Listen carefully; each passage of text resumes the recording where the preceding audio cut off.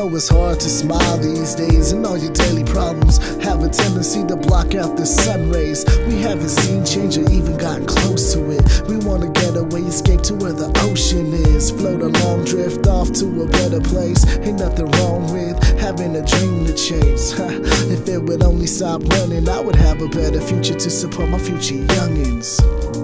So I count every single blessing, every second breathing, I put my best in. Everything I've done and all the things I will do. And I appreciate every lesson I've been through.